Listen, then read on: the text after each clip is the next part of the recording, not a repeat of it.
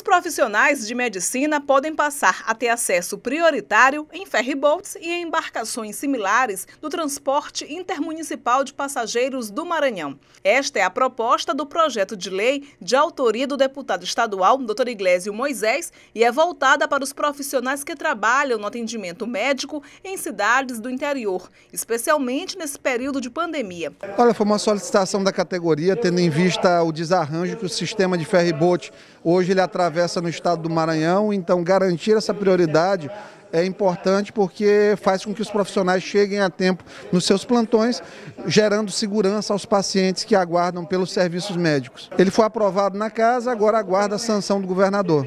Patrick é médico e utiliza o transporte marítimo para se deslocar toda semana à cidade de Pinheiro, onde faz atendimento. Para ele, o benefício do acesso prioritário em ferryboats, por exemplo, vai facilitar o trabalho dos profissionais de saúde. Geralmente eu vou às quartas-feiras para Pinheiro de ferry e o ferry que a gente pega, é, ele parte daqui de São Luís às 5 da manhã.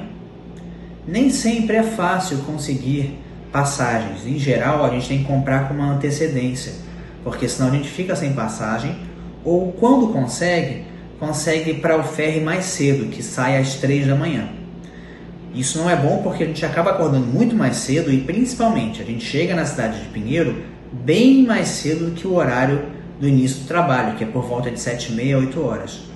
Com esse projeto de lei, é, a gente tem a garantia de conseguir a passagem, então a gente não precisa comprar com muita antecedência nem várias passagens ao mesmo tempo e a gente já sabe que vai conseguir é, partir naquele ferry pretendido que geralmente é das 5 da manhã. Então acho que vai ajudar bastante aos profissionais de saúde, principalmente para não faltar o serviço de saúde lá na cidade de Pinheiro. O projeto de lei já foi aprovado pela Assembleia Legislativa do Maranhão. Agora aguarda sanção do governador Flávio Dino.